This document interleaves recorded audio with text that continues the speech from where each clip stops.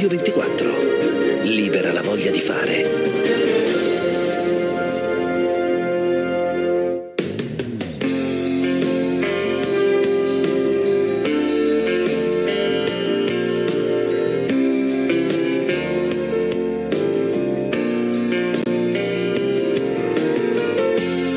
Nessuna è perfetta. Viaggio dentro i luoghi non comuni dell'universo femminile. Di Maria Latella. Domenica, buona domenica, bentornati a Nessuna è Perfetta, il programma di Radio 24 che vi rompe le scatole ogni domenica con la sua battaglia contro il multita- multitasking. Sto pensando in particolare al nostro uh, diciamo fedele ascoltatore che eh, domenica scorsa implorava su Twitter no per favore non citate più il multitasking né all'inizio né alla fine ciascuno ha le sue ossessioni. Noi qui abbiamo l'ossessione del multitasking perché è una fregatura caro ascoltatore di Radio 24 è una fregatura che soprattutto come dire eh, influenza eh, in peggio la vita di molte donne. Però se ci vuoi bene seguici lo stesso e perdona, e perdona la nostra citazione.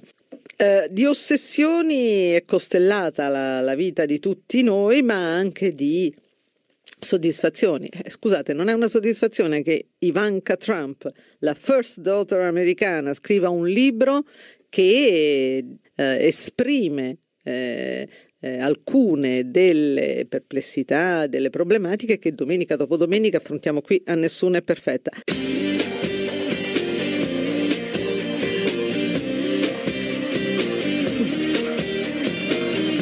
E dalla First Daughter passiamo alla Première Dame, Brigitte, Brigitte ormai la conosciamo tutti col suo caschetto eh, biondo, Brigitte Rognin mm, coniugata Macron. Beh, eh, Brigitte dicono tutti che è stata una delle chiavi del successo, della vittoria di Emmanuel Macron e però di sicuro eh, quello che ho potuto constatare analizzando i dati eh, eh, relativi al, alla prima tornata elettorale, quella in cui eh, Macron si qualificò per il ballottaggio insieme a Marine Le Pen, in quell'occasione sicuramente le elettrici tra i 45 e i 65 anni hanno dato un forte impulso alla vittoria di eh, Macron. Insomma, si sono riconosciute forse nella Première Dame in questo amore così eh, poco scontato, lei ha 24 anni più di lui e la notevole differenza eh, di età ancora oggi nel 2017 ha suscitato eh, una quantità di commenti, frecciatine, eh, retroscena, addirittura eh, la, la, la, cosa no, più banale è che eh, si trattasse di un rapporto madre-figlio, una copertura perché eh, secondo mh, alcune eh, diciamo fonti, non so quanto francesi o quanto invece di, di, eh, di social media eh, eteroguidati, ehm, insomma secondo queste fonti Macron eh, è, è il paladino del, di una potente lobby omosessuale e il tutto perché sta con la simpatica e forte Brigitte da quando aveva 16 anni.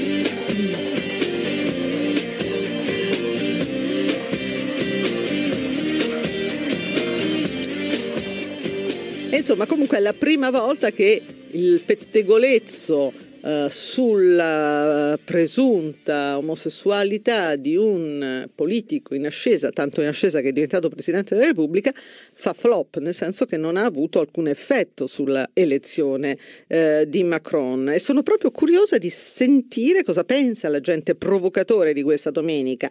Benvenuto, benvenuto Filippo Maria Battaglia, giornalista di Sky TG24. Bentrovati, grazie. Eh, Filippo Maria Battaglia è stato già ospite di Nessuna è perfetta con Stai zitta e vai in cucina, il suo libro eh, di, di, qualche tempo fa, e ora torna con un nuovo libro, Ho molti amici gay, la crociata omofoba della politica italiana per bollati boringhieri. Eh, Filippo Maria Battaglia, mh, mm, prima di raccontare un po' eh, quelle che sono state le manifestazioni omofobe della politica italiana, vorrei chiederti, secondo te, perché ha fatto flop l'utilizzo eh, dell'arma rivelatasi appunto spuntata di, di com- mettere in, in, circuito il mm, gossip su, sulla presunta omosessualità di Macron perché probabilmente la società francese rispetto a quella italiana sotto questo punto di vista è un po' più avanti. I dati e le statistiche ci dicono che l'omofobia in Francia è presente ma in modo molto meno rilevante che in Italia e questo grazie a Dio condiziona molto meno la, la, l'opinione pubblica e l'elettorato. E in una sfida così polarizzata una simile diciamo, diceria che mm-hmm. appunto non era suffragata da alcuna prova, alcun contesto e poi qualora fosse una prova da, da esibire comunque diciamo, non, ha, non, ha, certamente fatto presa eh, nel, nell'elettorato. Ecco. Eh, mh, c'è un atteggiamento eh, che è proprio eh, di alcuni partiti o è un atteggiamento eh, bipartisan, quello della diffidenza in politica rispetto all'omosessualità?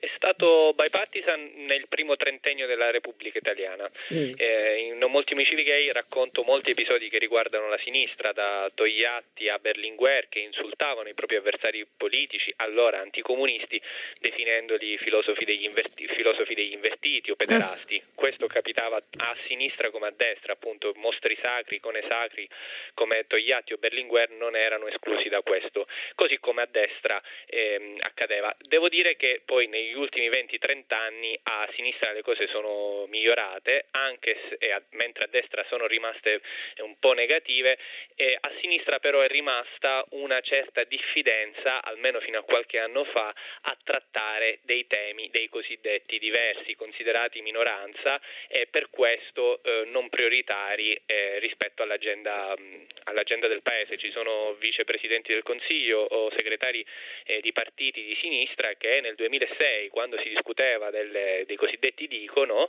sì. eh, dicevano che il centrosinistra si era fatto incastrare in questioni marginali rispetto ai veri problemi del paese. Quindi questa resistenza è rimasta, però in modo diverso rispetto a destra. Senti, nel libro fai parecchi esempi, no? Citi frasi omofobe rimaste celebri. Io personalmente ricordo quella degli anni 90 dell'allora portavoce eh, di Gianfranco Fini, Francesco Storace, che a, un gruppo di colleghi che gli chiedeva eh, France, dici qualcosa di sinistra, mi pare che fosse così la frase, rispose Afroci. Sì, una frase rimasta negli annali grazie alla penna acuta di Guido 40, è, è stata smentita da Storace, eh, però resta comunque una delle frasi che incardinano bene il livello del dibattito politico in Italia, così come accadeva con il maschilismo, quando il dibattito politico eh, diventa arroventato, allora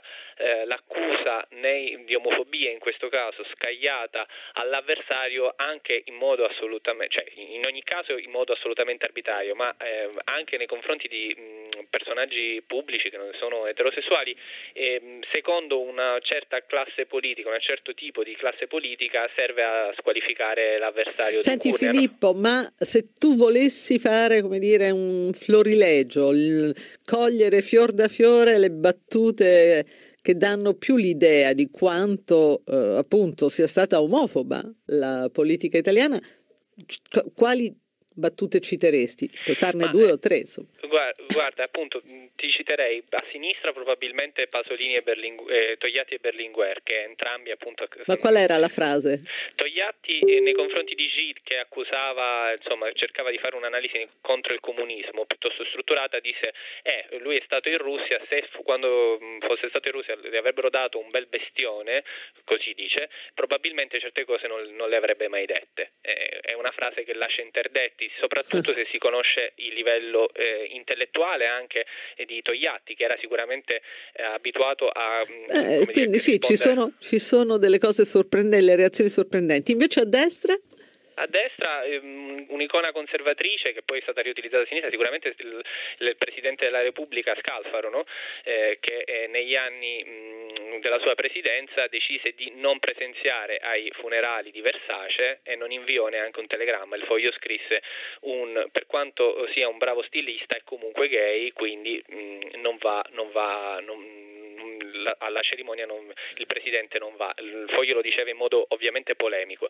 Quello fu un episodio che ripensandoci oggi mi sembra incredibile. Grazie Filippo Maria Battaglia e buona domenica. Grazie a voi, buona giornata.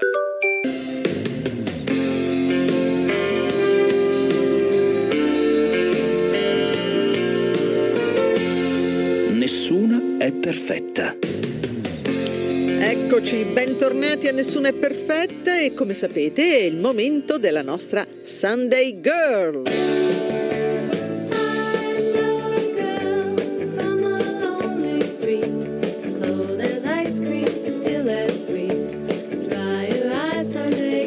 E la nostra Sunday Girl di questa domenica è una donna che non si ferma mai davanti a niente. Benvenuta, buona domenica Simona Ventura, benvenuta. Buona domenica anche a te, buona domenica a tutte voi, a tutte noi. Poi. A tutte noi. Allora, dopo il successo della prima edizione, sei tornata da lunedì 8 maggio con Selfie in prima serata su Canale 5.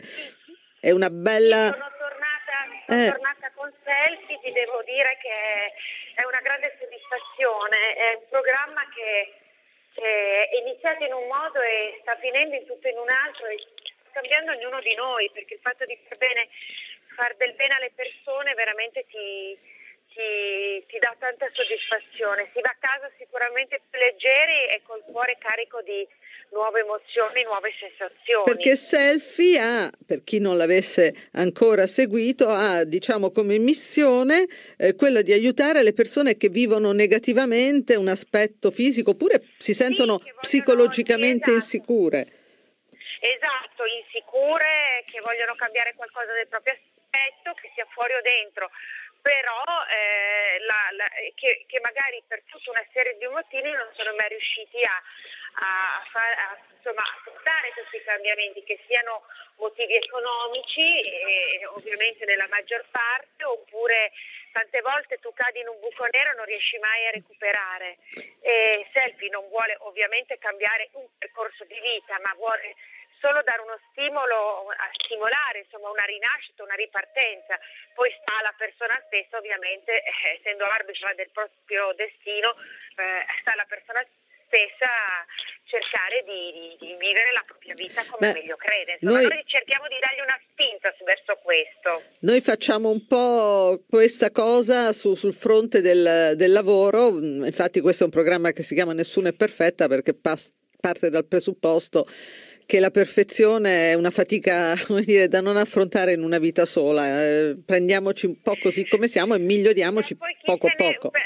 Tante volte l'imperfezione ci, ci eh, forse è anche più importante. L'importante è che non sia un'imperfezione continua, ci vuole diciamo una varietà di stimoli e una varietà di, di, di, colori nella nostra vita. No? E infatti noi parliamo di varietà in questa puntata anche eh, sotto il profilo eh, delle scelte sessuali perché parliamo della uh, varietà che è assolutamente ormai entrata, anzi è mh, mm, sempre più popolare eh, nelle dimensioni degli uffici, nel mondo dello spettacolo, poi più che mai eh, di, di, di, persone che non, non, nascondono le loro scelte sessuali e per esempio eh, si, si definiscono senza problemi, gay, eh, lesbiche, eccetera. E eh, nel mondo dello spettacolo questo forse è un po' più facile che in un, uh, in un ufficio di provincia.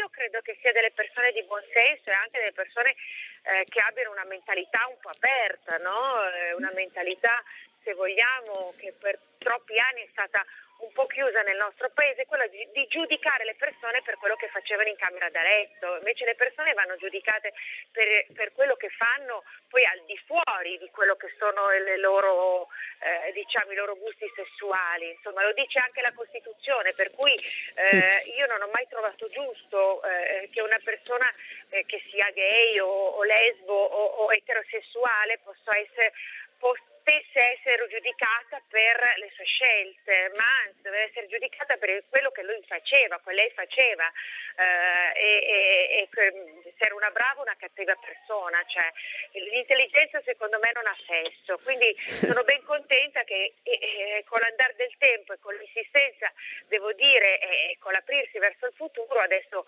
questa cosa anche grazie a internet, eh, questa cosa è molto, diciamo che questa cosa è molto migliorata, un pregiudizio che secondo me è assolutamente superato. Abbiamo visto che tra l'altro è un'arma, come dire, che se viene usata in politica fallisce miseramente. Nelle settimane scorse, quando eh, Macron eh, saliva nei consensi in Francia, eh, cominciarono a dire che siccome è sposato con una donna che ha 24 anni più eh, di lui, era impossibile che si trattasse di un matrimonio vero, di un vero amore, era un matrimonio di facciata perché lui era gay. Ma eh, le voci eh, fondate o infondate... Ma anche se fosse stato gay, sì. a me interessa di vedere un po' Macron campo, ma insomma diciamo eh, la salita, salire di corsa sul carro del vincitore è sempre stata una nostra prerogativa, ho visto, eh, mai, non, ho mai visto una corsa che neanche lo usa in volta nei 100 sì. metri nel salire sul carro del vincitore. Siamo Macron. tutti macroniani adesso, in eh, Francia sì, poi... Adesso, adesso sì, adesso sì, no, io sinceramente voglio vederlo alla luce dei fatti, ecco questo sì. è, voglio vedere cosa potrà fare, certamente è, una, è un simbolo della speranza per l'Europa, de, è giovane, eh, il fatto che avesse questa moglie, eh, l'età della moglie a me personalmente non interessa nulla, mi interessa che possa fare qualcosa per la, la Francia e quindi per l'Europa e quindi siccome noi siamo in Europa anche insomma in chiave diciamo italiana. Ecco, ma eh, il, la, la, cosa che mh, ha colpito è come si sia sgonfiata miseramente eh, la, dire, l'arma del pettegolezzo sul fronte dei, dei gusti sessuali perché non funziona più. Esatto, no, non funziona più, ma, ma, in Francia forse può funzionare ancora in Italia, mi dispiace dirlo, forse questa cosa qui era una pruderia anche molto italiana, no? Mm. Eh, però in Francia è fallita miseramente perché comunque sia siamo a un punto in cui i vecchi partiti, il vecchio establishment sta fallendo miseramente, si cercano altre persone e finalmente si guarda anche eh, quello che possono fare e, e, quello che possono fare nella vita pubblica, poi nella vita privata uno fa un po' quello che vuole. Quindi aspettiamo, aspettiamo i risultati e vediamo, eh, giudichiamo Beh, da quello che porta. Io, sì, esatto. Io non mi, non mi, esalto più, diciamo, l'ho fatto in passato, ma adesso voglio vedere le persone alla luce dei fatti, quello che succede dopo, perché è troppo facile, capito? Poi salire sul carro, dice ah che meraviglia, è arrivato, diciamo, il nuovo messia, però poi dopo alla luce dei fatti vediamo i risultati, vediamo quello che eh, sono i suoi progetti e vediamo se li porterà a termine. Senti, un'ultima... Pronta a salire anch'io Anche tu dopo. chiunque altro. Se, Chariot Macron. Eh, Macron. Eh, un'ultima cosa, um, da, da, da, sempre no? tu sei conosciuta sì. come Super Simo, hai eh, seguito eh, passo passo non soltanto l'evoluzione dei tempi, la tua carriera, eccetera, ma anche eh, l'educazione eh, dei tuoi figli. Noi qui a Nessuno è perfetta abbiamo una teoria, cioè il multitasking di cui siamo vittime tutte, me compresa e più che mai, è però un'enorme fregatura perché eh, costringe le donne, soprattutto loro, a dimostrarsi brave in terreni diversissimi a essere eh, brave mamme, ottime professioniste, mh, mm, mogli eccellenti, amiche, figlie di genitori anziani eh, che accudiscono eh, e poi anche in perfetta forma fisica, sempre truccate, cioè cose che forse eh, a nessuno sarebbero chieste. Sì, tu col multitasking che, che rapporto hai? Multitasking lo seguo certamente come, come, tutte le persone, come tutte le mamme, come tutte le mogli, come tutte eh, eh, le persone che lavorano, ho le mie difficoltà, però cerco di portare avanti tutto. Certo, ho capito in questi anni che qualcosa sul campo devo pur lasciare, eh, qualcosa sul campo si lascia, anche se noi... Tu cosa lasci? Un grande fallimento. Eh, beh, io ho lasciato un matrimonio... Mm eh, ho, ho, lasciato tante cose per, per, per, seguire determinati obiettivi, per i figli, per le cose, però poi dopo tutto con la calma, col tempo torna. È un, è un, diciamo, questo è un tempo e, e che, non ti, che, non ti, dà tempo. Ecco, questo è il mio gioco di parole, nel senso che è tutto molto caotico, tutto psicotico, tutto veloce, invece bisognerebbe fermarsi un attimo e che con calma, eh, dicevano i nostri nonni, chi va piano va sano e va lontano, con calma, ciao, con calma le cose si mettono a posto. Tua eh, figlia, la tua bambina, quanti anni ha? Ah, mia figlia ha 10 anni. E a tua figlia che messaggio e... lanci come mm, futura giovane donna? Che cosa beh, le guarda, trasmetti? Beh, beh, mia figlia, io a eh, mia figlia come ho dato ai maschi naturalmente in maniera diversa, eccetera, mia figlia lascio il meglio di quello che ho ricevuto. Non si può avere la patente di buon genitore, siamo sempre abbastanza, ovviamente ci sentiamo sempre non all'altezza a determinate occasioni, però devo dire che con lei ho un rapporto molto bello, è una bambina speciale, e, mh, parliamo molto e, e, insomma cerco di dare il meglio di quello che ho ricevuto. Certamente loro sono figli di internet per cui sono tecnologici al massimo eccetera eccetera, quello che forse gli manca è proprio questa, cioè non riescono a concentrarsi e eh. non riescono a rilassarsi, quello gli manca un po', però insomma è Ma... una bambina che spero... Ehm, eh, le spero il meglio ovviamente. Beh, eh, e, e, tutto quello che tutti noi sempre speriamo per figli, per mm, bambini, di amici, eccetera. Simona, un grande in bocca al lupo per uh, selfie, per tutte grazie, le, grazie, le avventure che aspettano i concorrenti e davvero uh, speriamo che uh, per alcuni di loro la partecipazione in tv non sia soltanto il, il momento del, così, della visibilità, no, dei 5 minuti di popolarità. È un grande stimolo per, per migliorarsi, per rivivere. Eh, vedere queste persone che piangono di gioia è già una, per noi una grossa soddisfazione. Eh, a te Maria grazie e ci manchi nell'editoria, quindi torna presto. Buona domenica allora. A te. grazie Ciao, Simona, grazie. grazie. Ciao.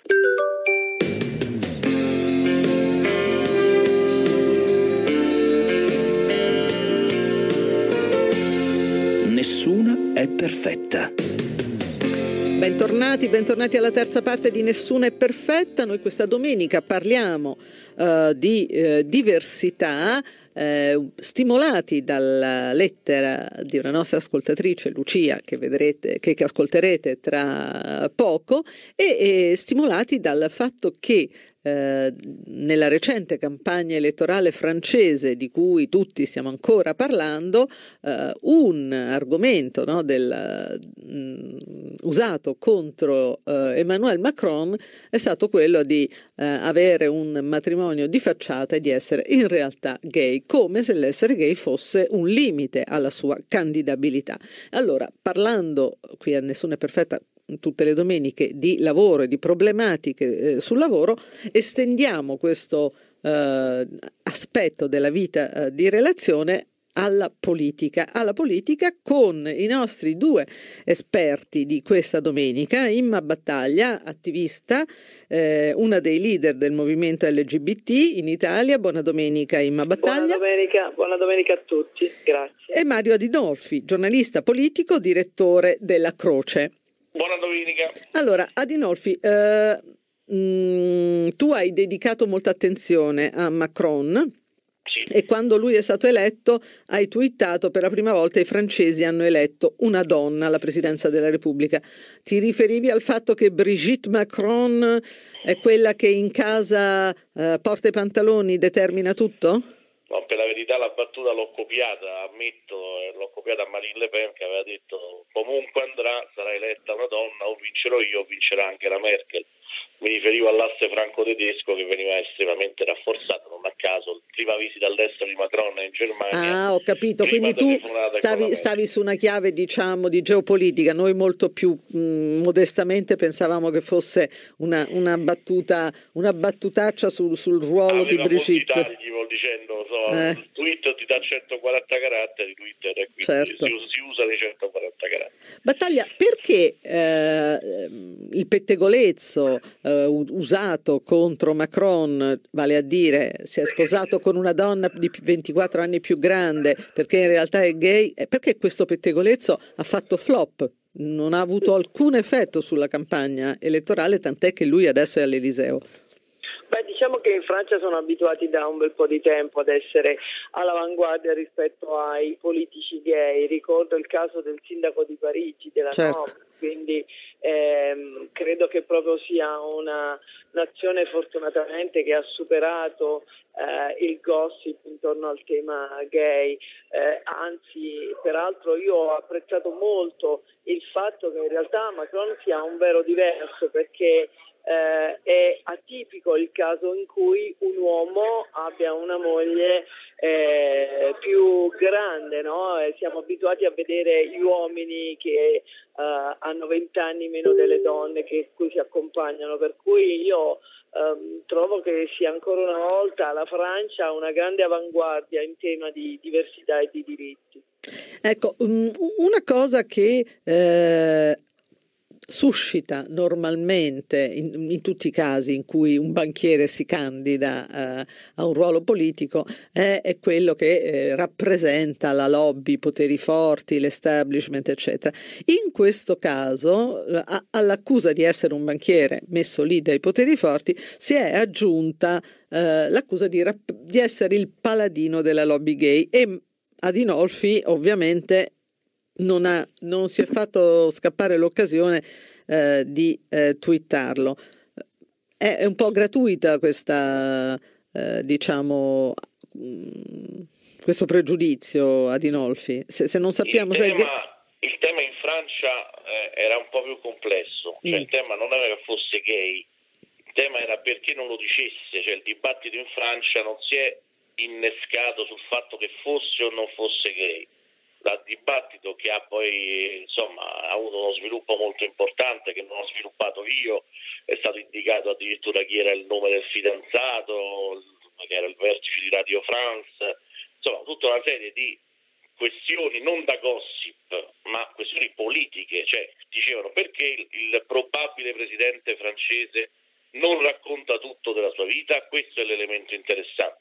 Insieme c'è la questione dei legami con la massoneria, che è una questione abbastanza importante, perché non dice, non esplicita alcuni legami, perché alcuni finanziatori, i più grandi finanziatori della campagna di Macron sono George Soros, David Rothschild e Goldman Sachs con circa 6 milioni di euro versati. Questi temi non sono temi banali che attengono alla diversità o se si è sposato con una signora più anziana. E la domanda era ed è tuttora chi è davvero Macron? Allora, questo è l'elemento che sicuramente interessa. Se dietro questo paravento c'è la rappresentanza di una lobby ben precisa, questo andava esplicitato ai francesi. Sicuramente sui temi, che poi sono le cose che mi interessano di sì. più, Macron è assolutamente uno che rappresenta le istanze del mondo LGBT, istanze che come è noto io contrasto. Ecco, ma eh, Battaglia, se dal Mm, diciamo dallo scintillio del potere che eh, ora mm, vede eh, Macron perfettamente eh, inserito, se da, da, questa immagine appunto di successo che ora ci viene trasmessa eh, ci spostiamo a un terreno molto più eh, day by day, vale a dire eh, se uno è gay e non ha voglia di dirlo, per esempio nel proprio ambiente di lavoro, eh, ha tutte le ragioni per farlo o invece sarebbe meglio eh, trovare il coraggio e, e, aprirsi? Io credo che la, la, il dichiararsi sia un fatto esclusivamente personale e, e che eh, merita eh, molta attenzione e rispetto perché eh, non, è, non, è, scontato che per le persone il percorso del coming out pubblico sia un percorso doloroso facile. talvolta, non no? solo per il fatto di dichiararsi in pubblico come fatto proprio personale, è una maturità, è un processo individuale molto particolare.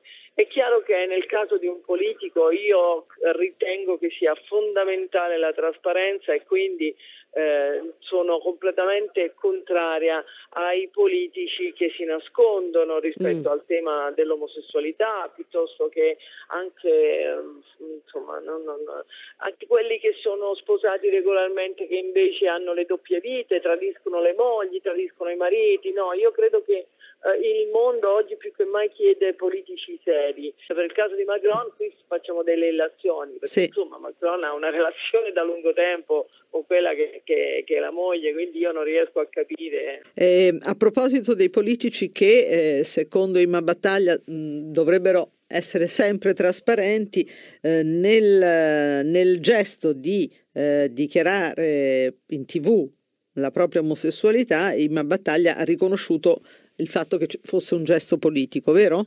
Beh, assolutamente, anche perché eh, io ed Eva abbiamo una relazione da molti anni. Eva Grimaldi. Eva Grimaldi, sì, esatto.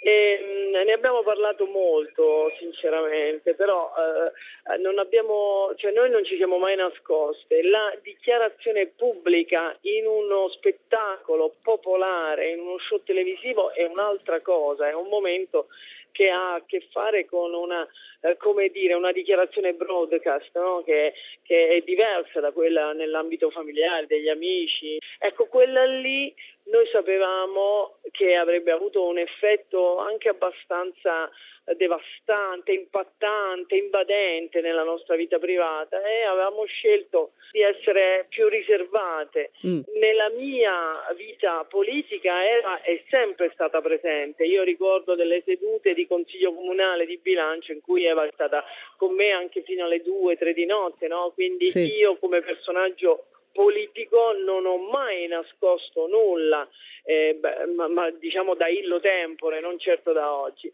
Il momento in cui un personaggio di spettacolo ed è la prima donna eh, riconosciuta e riconosciuta, la prima artista in Italia, mm. che fa una dichiarazione non generica no, di essere gay, ma dice io amo Imma Battaglia, credo che la potenza di questo gesto è ben più forte della semplice dichiarazione sono gay. Eva ha dichiarato a telecamera fissa amo Imma Battaglia e io credo che l'amore e la dichiarazione dell'amore abbia una potenza mm. ehm, mondiale, universale, impattante, molto bella e ha anche riportato, per quanto mi riguarda, sul filone giusto la questione gay. Trattasi d'amore e l'amore è meraviglioso. Oh, eh, è anche vero, è anche vero Adinolfi che eh, c'è una, eh, una super esposizione adesso Uh, si sta uh, vedendo in tutti gli eventi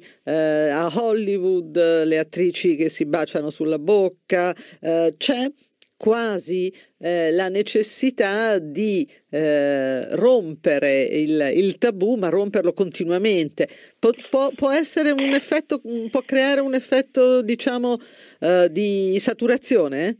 Beh, diciamo la verità, ormai è una moda, insomma, è una moda che funziona si va sul, fe- sul, palco del Festival di Sanremo con il nastrino arcobaleno obbligatorio applicato direttamente dai dirigenti RAI, al Festival Nazionale Popolare per eccellenza ci si diciamo, espone a un applauso generalizzato perché questa appartenenza è un'appartenenza universalmente ormai dal punto di vista mediatico purtroppo anche dal punto di vista politico e giuridico, che è la questione un pochino più complicata rispetto al diritto di famiglia, è qualcosa di universalmente accettato. Di chi vendola, va in America, si compra un bambino, torna in Italia e va in prima pagina sulla copertina del settimanale berlusconiano patinato, cioè con il bambino in braccio mentre fa il mm. bagno a mare sicuramente con una fotografia non rubata, diciamo così. È ormai diventato establishment tutto questo. È molto interessante, è una novità.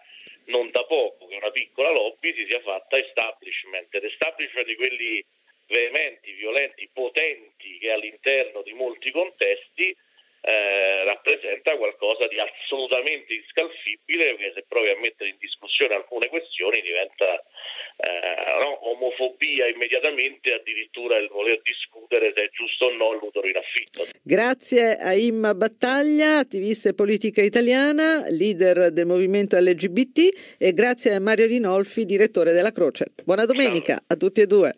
Grazie. Grazie.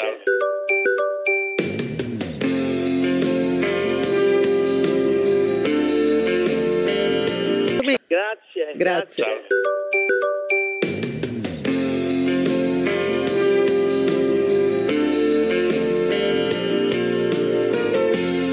Nessuna è perfetta.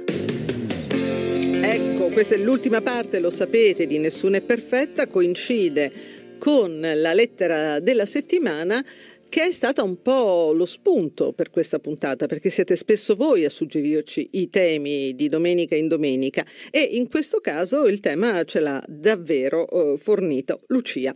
Vi ricordo che potete scriverci all'indirizzo nessuna è perfetta chiocciolaradio24.it o contribuire con i vostri commenti su Twitter e su Facebook. Cara Maria, scrive Lucia, ho 43 anni e lavoro in una grande azienda. Non so se il tema sia in linea con gli argomenti che trattate di solito, ma ci provo. Tra i miei colleghi ci sono anche due gay. Io non ho assolutamente nessun problema, ma noto che altri nei loro confronti hanno un atteggiamento ipocrita. Di facciata sono tutti gentili, disponibili, ma quando loro girano le spalle non mancano le frecciatine e i commenti della serie mm, stanno facendo la lobby gay. Che cosa succede secondo te nei nostri uffici dove si parla tanto di parità, di genere e di diversità? Già, cosa succede Lucia?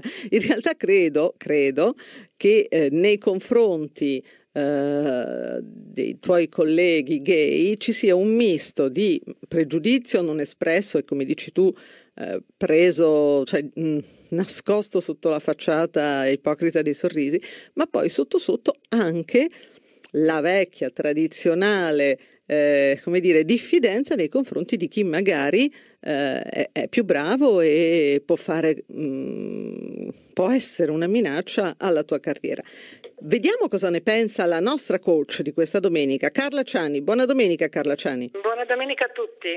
Allora, il primo de, de, la prima delle pillole che, che, che, vorremmo da Carla Ciani su questo tema è appunto eh, riconoscere eh, il, il, diverso. Eh, uh-huh. In questa situazione lavorativa, appunto, eh, individuiamo un pregiudizio che viene mascherato o piuttosto c'è il timore di vedersi ridurre proprio, diciamo, le proprie potenzialità di carriera? Uh-huh.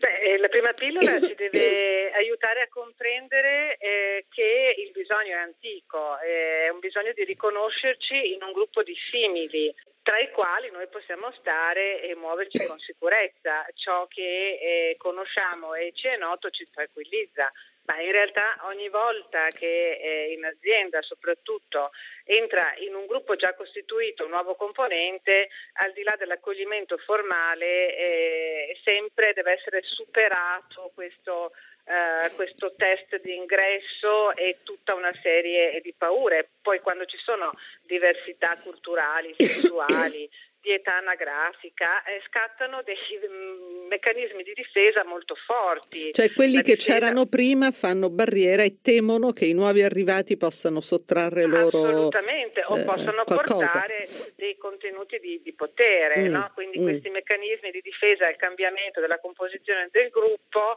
eh, sono molto forti e l'accoglienza è solo formale, cioè come dire imposta eh, dalle regole del contesto. Rimangono i pregiudizi, i preconcetti, le presunzioni, anzi si rafforzano dalla, eh, tramite eh, la paura. No? E tutto questo eh, preconfezionamento eh, ci limita e quindi con questa pillola dovremmo come dire, esercitarci a togliere il pre, Mm. Quindi sento di avere un pregiudizio, eh, mi chiedo invece, togliendo il pre, qual è il mio giudizio in questo momento, come giudico questa situazione. Ho un preconcetto, qual è ora il mio concetto rispetto a questa diversità? È una presunzione perché penso di presumere, cioè di, già di conoscere qualcosa a riguardo. Insomma, questo esercizio di togliere il pre eh, ci consente di comprendere meglio le cose in cui mi riconosco, quelle che rifiuto mm. e magari se in questo rifiuto c'è eh, la paura del cambiamento, la paura del potere dell'altro, la fatica magari di sperimentare l'altro. Ecco, e... eh, ehm, vorrei eh, vedere nella seconda pillola un, eh, diciamo una valutazione eh, di quello che è la, la citazione che faceva appunto la nostra ascoltatrice, vale a dire mh, mm, l'evocazione della lobby gay, no? uh-huh, che è stata uh-huh. fatta anche eh, per, per Macron in, in, queste settimane, evoca appunto un gruppo di potere coeso uh-huh. che proprio perché coeso può portarti via qualcosa. Allora, uh-huh. negli ambienti di lavoro magari eh, eh, non è che proprio si, si citi eh, la, la, lobby come se fosse eh, appunto la campagna elettorale di Macron, ma qualcosa del genere forse comunque si percepisce. In questo caso, eh, come si smonta questo pregiudizio? Ma, eh, prima di tutto ehm, con la coerenza.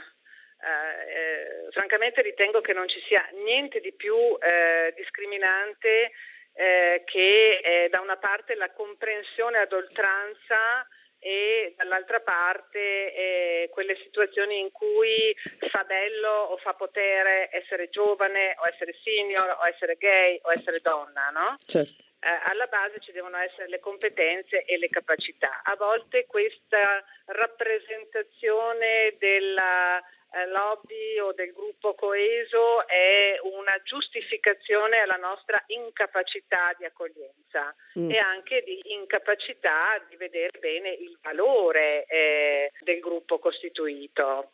Capita viceversa anche che per la paura di passare per eh, discriminatori eh, ci facciamo andare bene tutto ciò che, e che magari diverso, non ne siamo no? convinti e poi no, magari so, eh, eh coltiviamo una certa rabbia.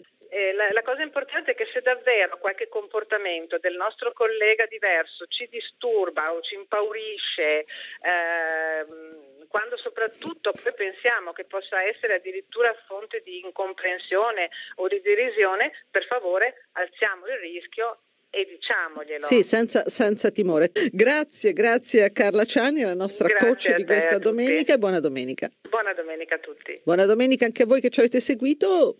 Vi do appuntamento, come sempre, a domenica prossima.